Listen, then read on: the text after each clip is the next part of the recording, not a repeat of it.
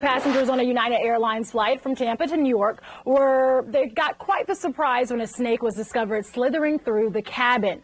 Unlike the movie Snakes on a Plane, actor Samuel L. Jackson wasn't there to help during yesterday's incident. Unfortunately, it wasn't needed. So a passenger told a CNN affiliate that people in business class started shrieking and pulling their feet up after the plane landed as the snake made its way through. So it turns out it was just a garden snake. Officials say the snake was removed and nobody was injured.